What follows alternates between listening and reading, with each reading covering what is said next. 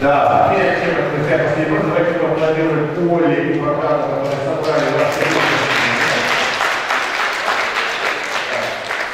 Это напоминает, что придет на тренировку, увидели любимые интеллектуальные лица неоднократно. Итак, последний вопрос.